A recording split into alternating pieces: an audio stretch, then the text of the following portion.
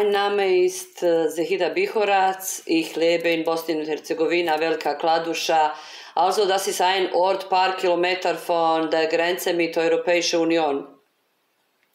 komme gerade von der Grenze und äh, da die Bilder, die, die ich und äh, die Bevölkerung von Unasana Kanton, besonders in Velika Kladuša, sieht, das steht einem also so lange in, in, im Kopf, dass man auf nichts anderes denken kann, dass man sich einfach fragt, ob wir in äh, Mittelalter leben oder ob wir in äh, 21. Jahrhundert äh, äh, leben. Selbst bin ich hunderte Male und mehr gezeugt, wo die Menschen, in welchem Zustand die Menschen von der Grenze zurückkamen und wo sie brutal geschlagen sind, wo sie mit also Zigaretten wurden auf ihren Haut, äh, wie sagt man das, gelöscht.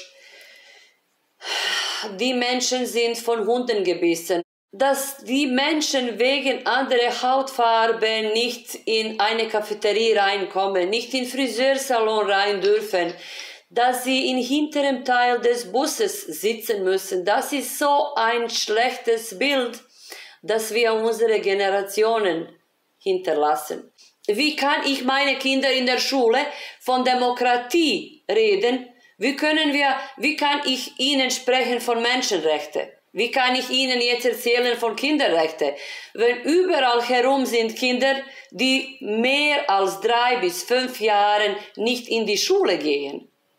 Die Situation muss sich ändern.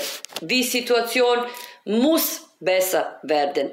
Wenn nicht unseretwegen, dann wegen die Generation, die nach uns kommen und wegen den Menschen, die leiden.